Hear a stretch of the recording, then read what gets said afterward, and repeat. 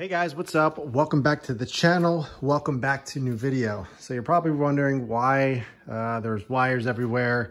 What is going on? Why is the fuse box cover off? Well, I've been doing some diagnosing of what was going on with the uh, daytime running light down here. Now, before I got my headlights by Lightwerkz, um, you know, everything was running fine.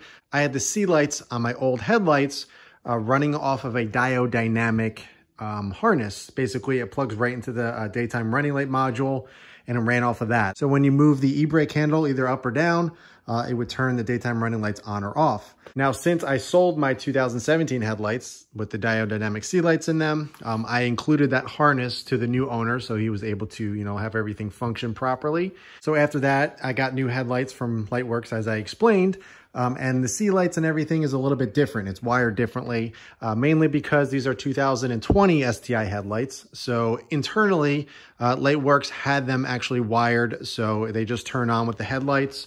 Uh, but since I have a 2017, it's a little bit different um, since the C lights are not the designated daytime running light. Normally it's the inner bulb right there. I know this is kind of confusing, but I promise you it makes sense. I've been thinking about this for the past two or three hours. Um, and I kind of went over a whole bunch of different scenarios to see what worked, what was going on, and I found the solution. Now, after I installed the new headlights from Lightwerkz, um, I noticed that the, the C lights were not turning on um, as my daytime running lights. I can turn them on with the, uh, the light switch stalk normally, uh, but my, you know, all the lights would be on basically. So my tail lights and everything, they weren't turning on as my daytime running lights, um, just the strip lights down here.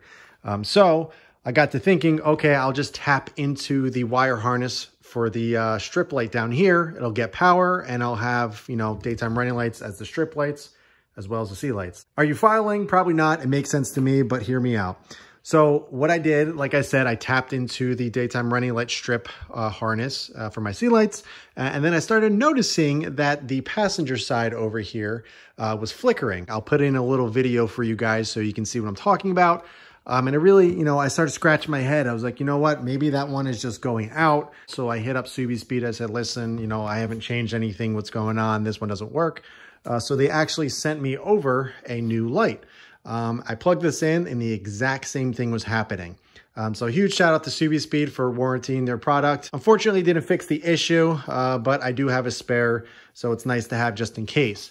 Um, so I really, really started scratching my head. I started, you know, tracing all the wires, seeing if there was any shorts anywhere. Trust me, I hate electrical work. It is not my forte. I really don't like messing with it. My main goal anytime I do any electrical work is to never touch the OEM wiring. I always touch, you know, aftermarket harnesses and stuff like that. I, that's what I usually tap into.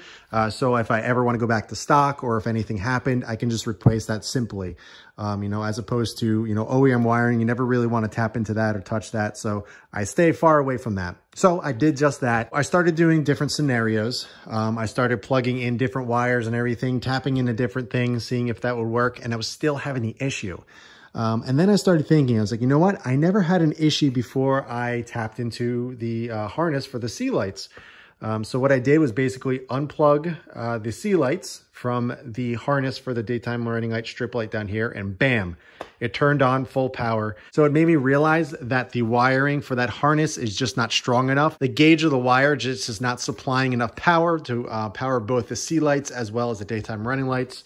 Uh, so I have a solution. So what I'm going to do is actually order, I actually already did, I ordered a new Diode Dynamic daytime running light harness. So basically exactly how I had it in my um, previous set of headlights where I just plugged right into the daytime running light module uh, and then I ran the C lights off of that. So I'm going to leave the harness for the daytime running lights alone because um, they're working perfectly now and they're just going to be powered on as soon as I turn the car on. And the C lights will just power on just like they used to with the e-brake up or down because uh, they'll be on separate wires, separate power, uh, so everything will be fully functional uh, just like how I used to have it. I'm going to run through the different scenarios that I was doing so you guys get a better idea. Now, I know this is kind of a one-off issue for me just because of, you know, the setup that I'm running. So maybe nobody has run into this yet, but you never know. So I figured I would document it, show you the different scenarios and kind of what I, you know, figured out. Uh, because like I said, I've been battling this for the past couple hours and it was driving me nuts.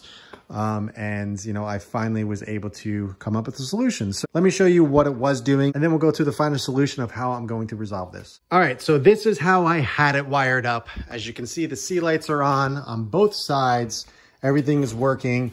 Um, and then down here, the strip light is working just fine. Uh, I don't have the passenger side in because I'm, you know, doing some testing, but this is what was happening. So you can kind of see it flickering. Um, obviously, it just is not working correctly. Um, you know, to me, I thought maybe the LEDs were going out and then, you know, eventually it just stops working.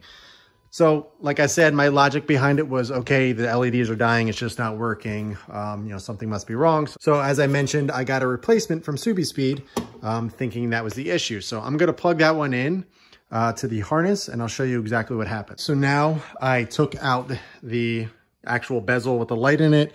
Uh, and this is the replacement one. As you can see, nothing is happening. So I was really perplexed. I was scratching my head, wondering what is going on here. Doesn't make any sense to me. Obviously, I have full power on this one.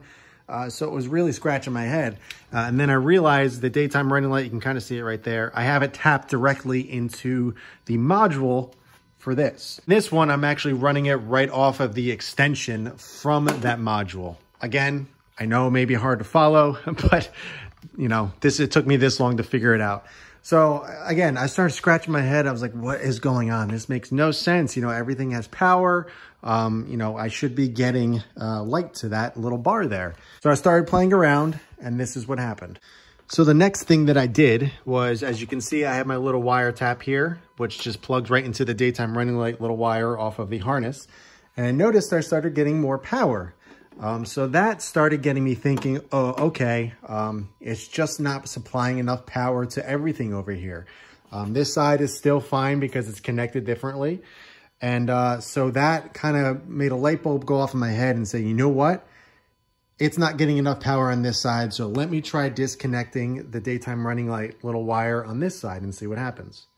So as you can see, I disconnected the little daytime running light harness there and bam, the light is working. Oh, that was just, you know, I just kind of running through different scenarios, diagnosing, and I realized, you know, it just was not getting enough power, enough juice from the uh, fuse box over there. So my solution is I'm going to leave the daytime running lights, you know, these strip lights, exactly how they're hooked up. So they are running and everything is fine. They're getting enough power. And then for the actual C lights in the headlight, uh, I ordered the Diode Dynamic daytime running light module harness.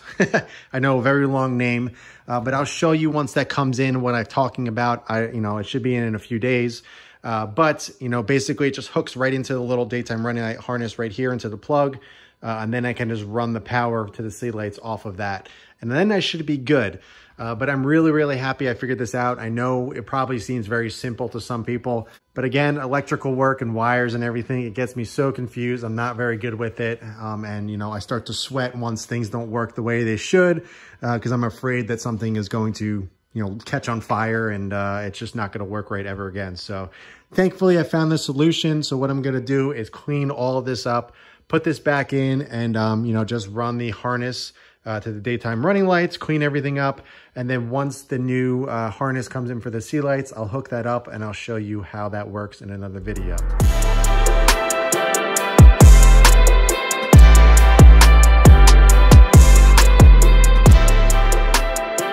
All right, so I got everything buttoned back up.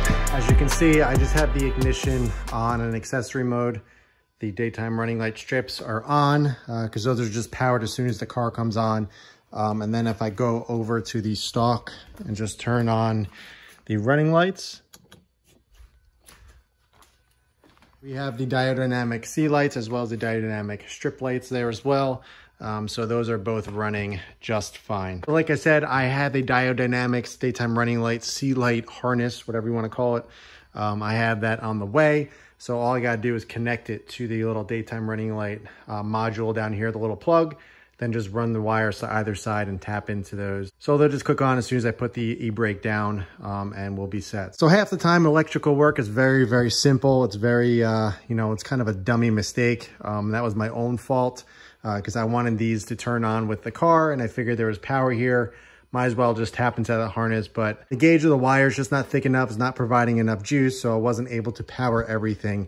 That is why I was having the issue with these strip lights down here. So now everything is working fine. Uh, obviously, I just got to get the harness in and then I'll update you guys in another video um, of how to connect all that. Give you a little bit of an update on everything, um, just so I can show you everything working properly. And plus, if anybody has any issues like I had, you can follow these videos and figure out and diagnose just like I did and get everything working. So that's all I got for you guys. I know it's nothing crazy, but it was driving me nuts and I figured I'd make a video kind of walk you through everything just because, uh, like I said, it was making me go crazy and I don't want to make anybody go through that like I was going through it.